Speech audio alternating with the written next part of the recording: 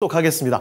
이번에 살펴드릴 종목은 뭘까요? 살펴보니까요. 유튜브 종목인데 이미숙님의 종목입니다. 네. 어, 안녕하세요. 유니쌤입니다. 유니쌤. 아, 9,550원에 10% 비중으로 보유를 하고 계시는데요. 음. 유니쌤, 이것도 반도체죠? 전공적으로 알고 있는데 그래서 그런지 아주 강하게 가진 못했어요. 약간 후공정이 아, 더 주목받으니까. 그렇죠. 예. 그래서 얼마 전에 7월 달에 아, 만 원대 넘어서나 해- 하더니 그때 또 조금 밀렸습니다. 그러다가 오늘 반도체가 올라오니까 여기도 올라오긴 했죠. 예. 자, 그런데 상대적인 소외감 앞으로는 어떨까요? 음. 자, 알아보도록 하겠습니다. 현재 주가는 매수가보다 좀 낮은 수준인데요.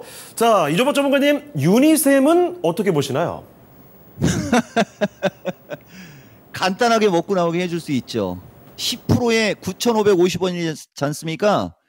내가 이거 VOD 근거 하나 만들어 놓을게요. 아무 가격에서나 추가 매수. 최소 만 원에서 그 이상 목표치는 1,200명 돌파 시 이야기하겠습니다. 그리고 이따가 내가 지표 해석해 주겠는데 에, 오늘 지금 지표 나왔는데 저 지표도 내가 예측한 대로 나왔어요, 여러분.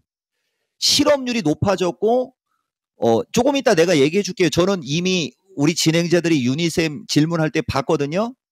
고용은 조금 늘었고 실업률은 확 늘어났고 내가 봤을 때는 3천 명은 아니어도 2천 명 공약은 가능할 것 같습니다. 자, 유니셈 갈게요. 유니셈이라는 주식도 악의 구렁텅이를 벗어난 거고 이 주식은 기본적으로 아차 이거 아까 내가 1200명 넘어가면 얘기한다고 그랬죠? 나를 믿는다면 그냥 아무 가격에서나 추가 매수하셔도 된다.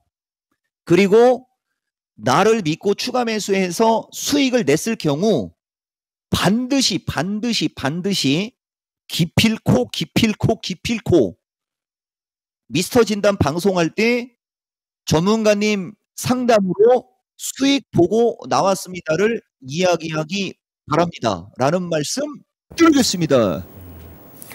자, 유니셈이었는데요. 약간 제가 걱정 어린 시선으로 넘겼는데 네. 걱정하실 필요는 없을 것 같네요. 아, 그리고